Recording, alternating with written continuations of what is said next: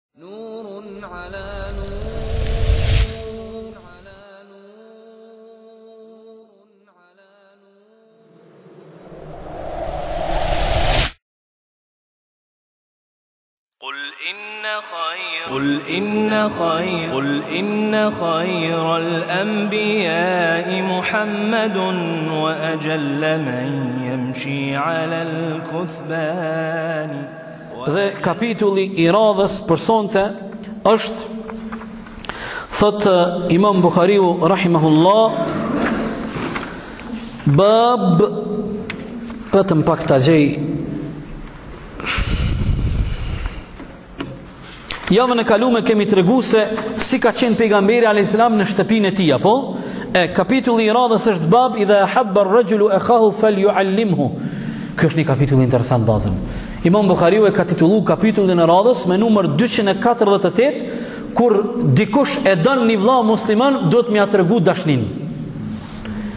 Nëse e don një vëlla musliman, një shoq tondin e don për hatër të Zotit, është sunnet i pejgamberit me i thon unë të du për hatër të Allahut.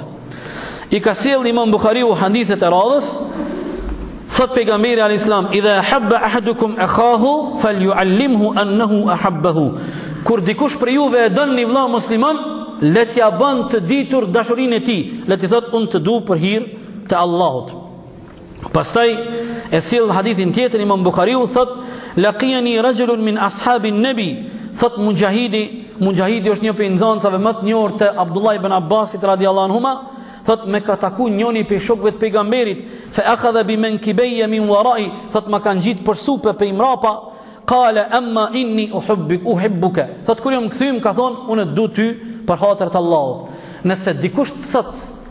Unë të du ty për hatër të Allahut, si dush me ja kthy ti, tash na vjen përgjegja. Kale ehabbek Allahu ledhi ahbebteni lehu. Allahu t'dashtë edhe ty për ato çka m'ke dashtë. Kur t'thot ty dikush, unë të du për hirë të Allahut, ti dush me ja kthy ti, atina, Allahu t'dashtë edhe ty. Allahu t'dashtë edhe ty. Thot fekal, thot Laula anna Rasulullah qal thot se e kam dëgju pejgamberin duke thon nëse ndokush dikond e don për Allahun le t'ja bën me dije ngase kështu na ka porosit pejgamberi sallallahu alaihi wasallam. Do thot unë po shfrytëzoj rastin edhe pse këtë e kam bërë shumë herë, mirëpo duke u nisur nga suneti i pejgamberit alayhis salam të gjithë juve ju dojmë për hir të Allahut dhe Allahu inshallah na bashkon në të vërtetën, na bashkon në dunja dhe na bashkon në xhennetin e Firdausit inshallah taala. Kapitulli i radhës është bab idha ahabba rajulan fala yumarihi wala yasal anhu. 249 kapitulli thot Imam Buhariu, kur e don një njeri për hatër të Allahut, mos polemizo me to, mos u shty me to, edhe mos hulumto rreth tij shumë. Këtu e ka pru hadithin e Muadh ibn Jabelit, ku pejgamberi alayhis salam e ka porosit Muadhin i cili thot: "Idha ahbabta akhan fala tumarihi wala tusharihi wala tas'al anhu." Thot nëse e don një njeri për hatër të Allahut, e don një shok e ki një jaran, mos polemizo, mos u shty me to. Vallahi kaniherë më ndodh, ndonjëherë më ndodh me disa prej juve, jemi tu pi kafe, ja nisin për një tu bo muhabet, veç kur të kapen ata dytë, ku ta merr mendja që këta jonë dyshmonat ma t'mdhaj mes veti. Allah Allah. Allah Allah. Po pse kështu? Nuk bon kështu. Vlla e ki. Subhanallah, vlla musliman, jonë do tjerë, kanë merak veç mu ngut.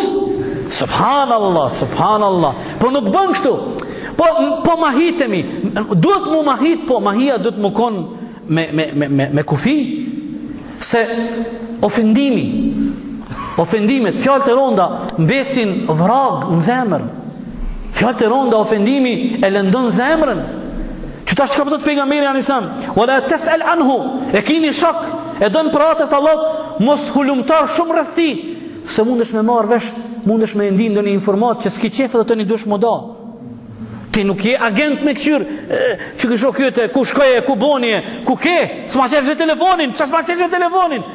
Subhanallah.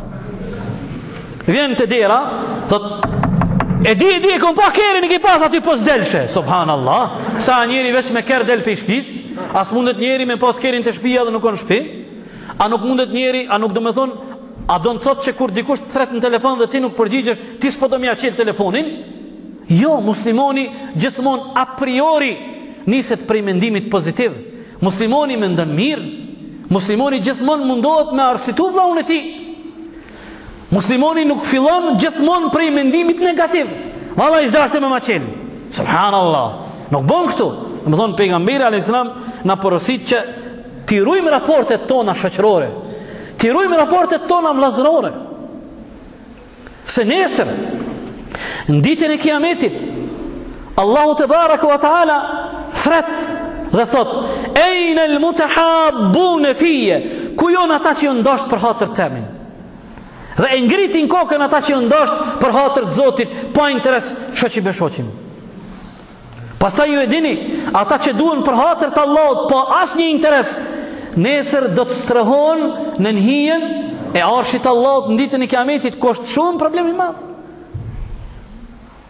Hazreti Omeri radiallahu anhu thot, i kom pas ni mi vllazën që i kom dasht për hatër të Allahut, ja u kom dit emnin, ja u kom dit emnin e babave të tyne, edhe e kom dit adresën ku banojnë.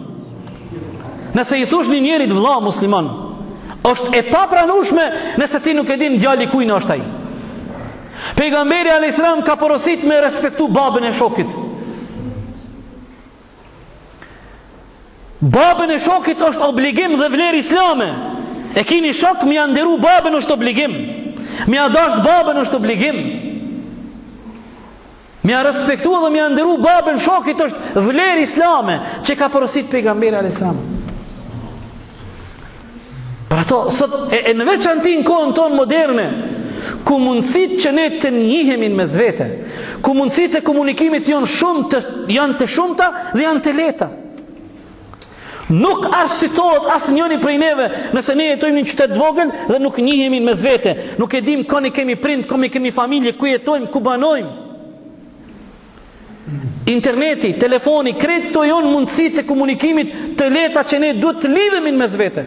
Shokët e pejgamberit alayhis salam kur nuk e kanë pa një njerit që nuk u dalë në xhami, një ditë, dy ditë, menjëherë janë shqetësu Dhe kanë shku dhe janë interesu Çfarë derti e paska filoni që s'po del me u fal në xhami Neve një vjetë nuk na del dikush në xhami Si bjen në mend kujt për to Si bjen pse egoizm Islami e çrrënjos egoizmin Islami është edukatë që kërkon prej neve që ne t'jemi të socializum mes vete Që të jemi të ndishëm mes vete, që të jemi të dashur mes vete.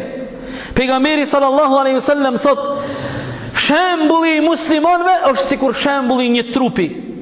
Nëse një pjesë, nëse një gjymtyrë e trupit rënkon, lëndon, krejt trupi ndin siklet. Kështu duhet me u konë muslimanët. A e ke pa? Pe marr një shembull banal. Tu i pre thojt, me bo me e pre thonin ma shumë, a me kap një copë mishi, te gishti ma i vogël i komës, vallahi krejt trupi ndin siklet.